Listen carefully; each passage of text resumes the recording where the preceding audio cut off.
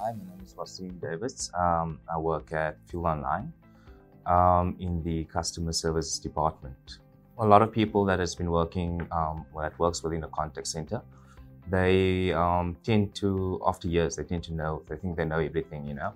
And uh, with Omni, um, I've realized personally that um, there's always something new to learn. It's an ongoing learning journey, learning journey you know.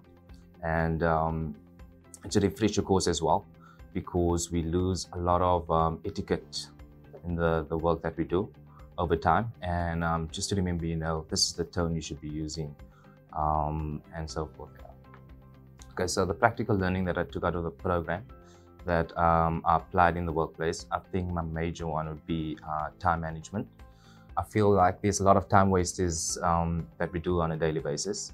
And um, just knowing what wastes your time throughout the day. And I mean, coming from a contact center, we all have targets and those targets need to be met. Um, me personally, I always think to myself that, hey, you know what, I'll just leave it for the end of the day where um, I can catch up. But it, never happens the way that you plan it, you know. So um, just taking out those five minute breaks, those 10 minute breaks where you take it for yourself, rather complete your work and then have all that remaining time for yourself.